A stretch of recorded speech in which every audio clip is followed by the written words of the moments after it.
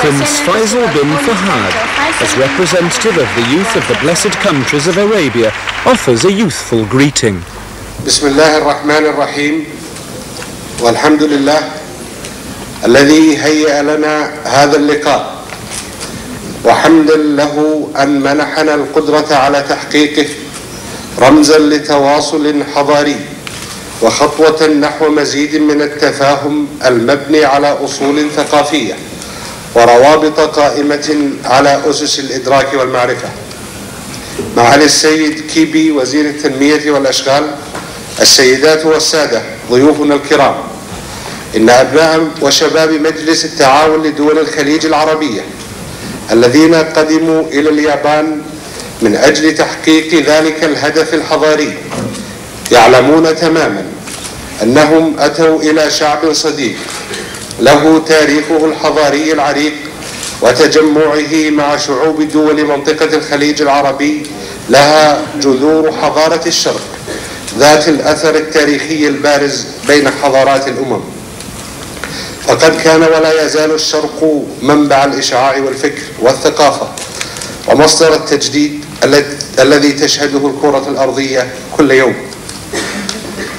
إن أصحاب السمو والمعالي وزراء الشباب والرياضة في دول المجلس الست حين اتخذوا قرارهم باختيار اليابان الصديقة مكانا لهذا المهرجان كان ذلك الاختيار مبنيا على أسس مدروسة وعلى معرفة سابقة بتقدير الشعب الياباني الصديق والمسؤولين فيه لمثل هذا النشاط الثقافي إذ أن الجميع في منطقة الخليج يدركون أن اللقاء مع اليابان لا ينحصر فقط في استقبال ما تنتجه هذه الدولة الصديقة من أنواع المخترعات الحديثة التي بهرت العالم بدقتها أو في تلك المادة النادرة التي تستوردها اليابان من دول منطقة الخليج العربي. فذلك المجال أمره يخضع لظروف اقتصادية بحتة لها أهميتها ودورها بدون شك. ولكن القناعة أصبحت كاملة لدى الطرفين لأن هناك نوعا من العلاقة الحضارية الشرقية. تجمع بين الشعب الياباني وشعوب دول المنطقة منذ قدم التاريخ.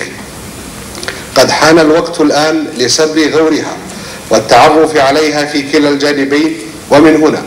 فقد أيد أصحاب الجلالة والسمو ملوك وأمراء دول المجلس الست هذا البرنامج وبدأت الأمانة العامة لدول مجلس التعاون مشكورة في التنفيذ وها هو الأمل قد أصبح حقيقة. وها هم شباب دول المجلس بينكم الآن يسعون إلى بدء الخطوة في مشوار المعرفة ولقاء الثقافة معبرين عن ذلك بلوحاتهم الفلكلورية والمعارض واللقاءات الفكرية والفنية. يسعدني باسم أصحاب الجلالة ملوك وأمراء دول مجلس التعاون ثم باسم أصحاب السمو والمعالي وزراء الشباب والرياضة في مجلس التعاون وباسم الأمانة العامة لمجلس التعاون ومعالي أمينها العام الذين شرفوني برئاسة هذا المهرجان والنيابة عنهم في نقل تحياتهم وتقديرهم وشكرهم.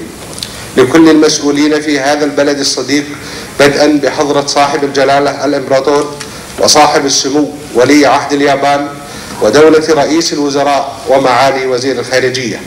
أن أؤكد أمرا هاما وهو أن مجلس التعاون حين اتخذ أصحاب الجلالة والسمو الملوك والأمراء قرارهم بتكوينه كان من أهم أهدافه العمل الجاد والملتزم من أجل تحقيق السلام العالمي وأن يلعب هذا المجلس دوره مساهما مع دول العالم من أجل تحقيق هذا الهدف السامي. ولقد وجد المجلس أن التواصل الحضاري والثقافي أحد الأسباب الهامة في تحقيق مبدأ السلام بين شعوب الأرض خاصة وأن التجانس الديني واللغوي والتاريخي الذي يجمع بين شعوب دوله يساعده على تحقيق ذلك. يا صاحب المعالي مع تكرار الشكر لمعاليكم ولضيوفنا الكرام أود أن أشيد بجهد أصحاب السعادة سفراء دول المجلس في اليابان وكذلك سفراء الدول العربية الشقيقة وبجهود لجنة الصداقة التي تربطها مع دول المجلس روابط وثيقة وكذا بالعاملين في الأمانة العامة لدول مجلس التعاون وعلى رأسهم معالي الصديق عبد الله بشارة ومعاونيه. وبجهاز تلفزيون الخليج وشركة العلاقات الدولية اليابانية وكل من ساهم في تحقيق هذا العمل وإنجاحه. وشكرا لكل الحاضرين من ضيوفنا الكرام وإن آخر دعوانا أن الحمد لله رب العالمين والسلام عليكم.